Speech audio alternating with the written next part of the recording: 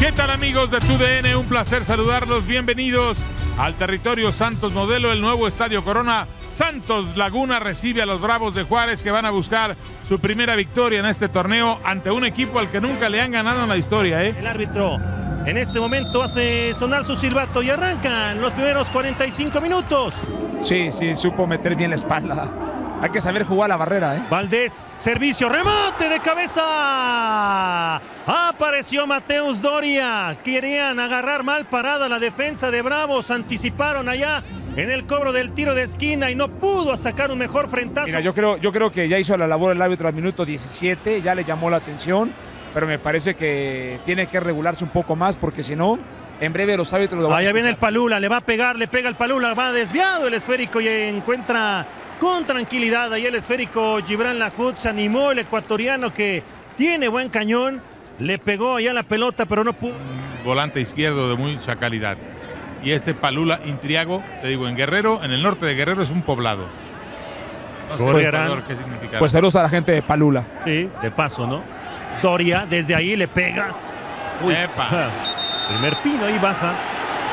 Se queda tendido sobre el terreno de juego, le pegó ¿Dónde le pegó, eh? en el abdomen, ¿no? Y- Sí, sí, sí, yo creo que lo deja sin El, aire. el abdomen, el abdomen bajo, yo creo. ¿Sabes una cosa? Aquí el sentido común no, no puedes permitir que se continúe, que, que continúe el partido. Mira, aquí lo vamos a ver la repetición. Ahí está, en la boca del estómago. Ahí sí le pega fuerte de Sí. ¿no? No es, no es una táctica dilatoria, ¿no? Aunque la gente de pronto se moleste que le tengas que parar el partido, pero aquí es evidente. Hay Osorio, calidad, ¿no? Hay calidad y de pronto, bueno, Osorio cambió la tendencia, pero veníamos de eh, eliminatorias muy oscuras, ¿eh? Que no, no funcionaba la selección mexicana. Bueno, eso sí. Con la Volpe también se calificó sin tanto sobresalto, ¿eh?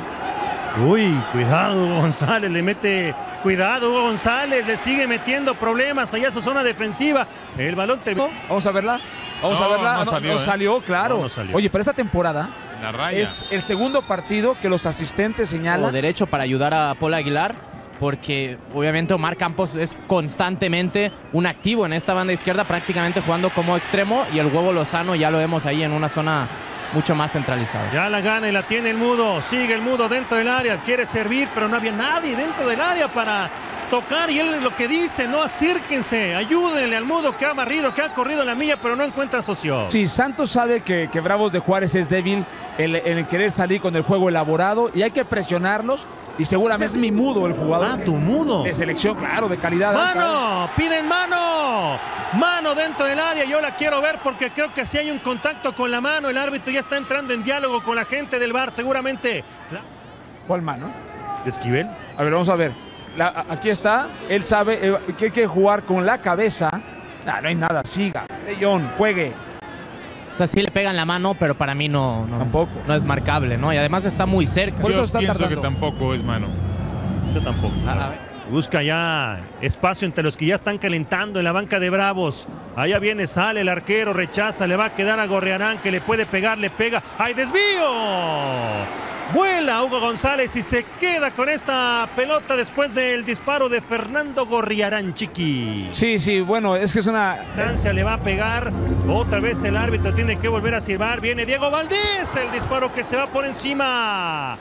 Por encima del arco de Hugo González. Cerca estuvo acá el chileno con este disparo. Sí, sí, bueno, sabe él que tiene un muy buen pie, lo intenta. Pues está buscando, si no por un juego. con- Rodríguez, Marco, ¿qué podemos esperar en esta parte complementaria? Pues definitivamente un Santos con mayor posición de la pelota, con mayor claridad de ideas, jugar, eh, buscar este tipo de espacios, mira, atacar los espacios, para que de alguna manera eh, es un típico partido que haciendo el primer gol prácticamente lo sellas el juego. Muy bien, un saludo muy afectuoso para el profesor Héctor Hugo Eugui Simoncelli, que vive en Ciudad Juárez, Chihuahua, y está siguiendo esta transmisión a través de tu a la banca y nos lo decía en el medio tiempo eh, Dani Velasco, la opción eh, sobre todo de, de Jordan Carrillo y de Edgar Gámez, futbolistas hechos en, en la cantera lagunera también eh, para intentar marcar la, la diferencia de cara a este segundo turno. Tarjeta amarilla para Sibel Marco. ¿Qué te pareció? Sí, Esquivel, da la impresión de que lo pisa. Mira, aquí vamos a ver la repetición. Ah, eso es una patada. Es una patada más producto de acción de juego, pero sí se la da. Y a no Lo jugar que tenía era frenar al futbolista americanista que llega tarde por la buena anticipación de, de Ronnie Prieto. A este chico Edgar Gámez con el número 201 que está en la banca del Santos ya fue llamado en alguna oportunidad a la selección sub-20. Edgar Gámez. Se quedó ahí Eduardo Aguirre en el césped, Marco, se duele bastante. Sí, me da la impresión de que le hace una palanca, ¿eh? Eh, al, al momento de barrerse, se barre por detrás al Mudo Juárez. Ya veo al Mudo Juárez, al Mudo. Aquí lo vamos a ver, mira, ya está. La, pero sí juega la pelota, Mudo Aguirre. Pero- sí pero juega es- la pelota, ¿no? Va a meter, a ver, juego brusco grave. A ver. ¿No? A ver, ¿qué va a hacer?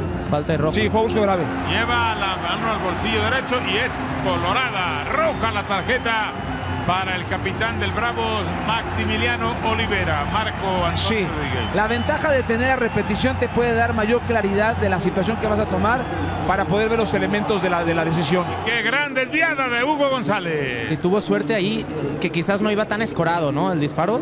Es correcto, sí. Aquí está el remate adentro. Gol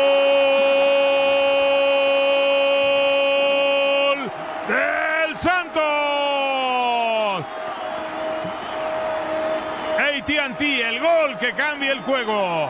El remate fue de Félix Torres, el zaguero central agregado al frente, Marco Rodríguez. Ya gana el Santos Laguna 1 a 0. Sí, 1 a 0 a una acción a balón parado con tu rival con 10 futbolistas. O sea, todo fue el proceso. Primero el tiro libre, el saque de esquina. Eh, eh, eh, Bravos de Juárez se queja de una falta. Septiembre. Sí, tres, tres partidos muy importantes. Es, es fundamental iniciar bien la eliminatoria. Pero por supuesto. Aquí viene manejando la pelota el Santos Laguna, banda izquierda, trazo al área, se resbaló Osejo, pero la tiene Diego Valdés, sirve para Otero. Otero, un recorte, cañonazo. Ahí está Hugo González aguantando el fogonazo. La pelota no sale, la tiene Alberto Yosimar Acosta. La manda al frente, cabezazo de Félix Torres. Y tiene Santos la pelota con Brian Lozano. ¿Qué hacía el árbitro en el procedimiento del golpe de, en la cabeza? Aquí viene Juárez, buena pelota dentro del área, remate, la. Res- Pero aquel Yosimar se escribía con J y Z, Yosimar. Este se escribe con SH Yoshimar. Viene manejando el balón el Santos, Lozano busca la pared, la devolución larga, pero se mete Brian al área, busca la raya de fondo. Centro venenoso, el despeje de Acosta antes de que llegara Otero a empujar el balón. Eh, no sé si la mejor jugada del partido, ¿no? En cuanto. Guatemala, José Luis diferente peinado, ¿no? Me vienen manejando eso, sí. Sigue en Guatemala, Marco. José Sí, Luis sí, Camargo. sigue en Guatemala y en la CONCACAF. Aquí no lo quieren mucho, pero en, en Centroamérica sí. Bueno, aquí viene Otero. Balazo de Otero al larguero. El remate. ¡Qué cañonazo! Marc Rosas, qué bien le pegó Juan Otero. Sí, aparte, cuan- cuando, hay ese tipo de disparos cercanos al área, eh, podemos decir que el defensor le regaló metros, que le regaló demasiado. Este es eh, Brian Lozano dejando para Diego Valdés. Ahora Gorriarán, Gorriarán mete el balón al área, la media vuelta de Osejo, qué paradón de Hugo González. Y luego el despeje del defensor Acosta. Se traba ahí con Diego Valdés, Marco Rodríguez. Sí, ya en este momento el Santos es amo y señor del partido y lo quiere reflejar más grande en el marcador. Y bueno, es una cuestión de tiempo, ¿no? Aquí también ya, ya empieza a ser factor el recibe al Puebla en la jornada 10. 10 se enfrentará al Monterrey y en la 12 ante los cañoneros de Mazatlán. En el papel, tres partidos a modo para sacar de, de tres puntos. Aquí viene el Santos buscando el segundo. Se metió al área Osejo, remate adentro. ¡Gol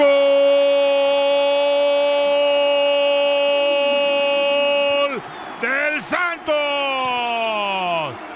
ATT, el gol que cambia el juego. Gol de debut para Alessio da Cruz. Él fue el que le empujó al final, ¿no? Sí, sí. Viene segunda línea. Justo, ¿no? Muy justo, ¿no?